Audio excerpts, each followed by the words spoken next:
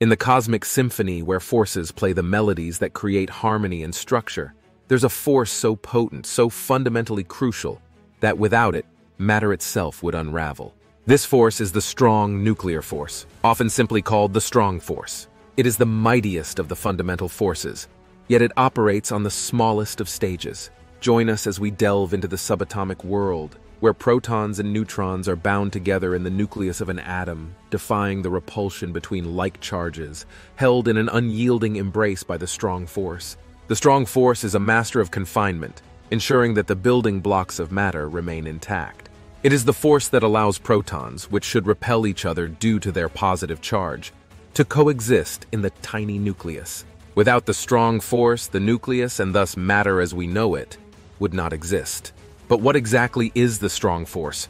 It is a force that is felt only by the hadrons, particles like protons and neutrons, which are made up of even smaller entities known as quarks. The strong force is the glue that holds these quarks together, forming the protons and neutrons at the heart of every atom. Quarks come in different types or flavors, and they carry a property known as color charge. Unlike electric charge, color charge comes in three types, red, green, and blue, and the strong force acts between quarks to neutralize their color charge within the particles they compose. This force is mediated by particles called gluons, aptly named for their role in gluing quarks together.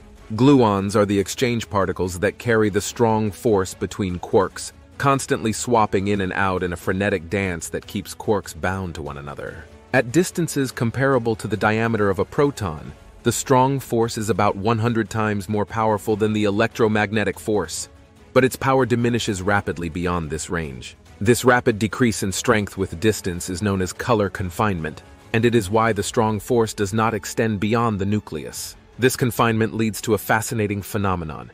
If you try to pull two quarks apart, the strong force becomes stronger as they move away from each other. If you pull hard enough, instead of freeing the quarks, you create new quark-antiquark pairs. This is how new particles are born in high-energy particle collisions. The strong force not only binds quarks into protons and neutrons, but also holds these protons and neutrons together in the nucleus. This aspect of the strong force is a residual effect, much like the force between two magnets when they are close to each other.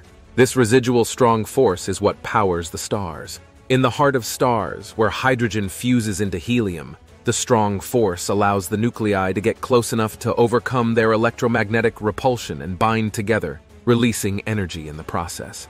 Understanding the strong force is also crucial for our grasp of the universe's smallest scales. It is described by quantum chromodynamics, QCD, the theory that details how quarks interact with gluons. QCD is a pillar of the standard model of particle physics, which explains how the fundamental particles interact. But the strong force is not just a subject of theoretical interest. It has practical implications too. Nuclear power plants harness the energy from changes in the nucleus, where the strong force plays a key role. And in medicine, radiation therapy uses particles accelerated by electromagnetic forces to target cancer cells, breaking bonds held by the strong force. In conclusion, the strong force is the universe's ultimate glue, holding together the atomic nucleus and enabling the existence of matter. It's a force that operates quietly in the background of our everyday lives, yet it is pivotal in the grand scheme of the cosmos, from the smallest particles to the life cycles of stars. As we continue to explore the quantum landscape, the strong force stands as a reminder of nature's complexity and subtlety. It challenges us to unravel the mysteries of the universe one quark at a time, revealing the beautiful intricacies of the world within the atom.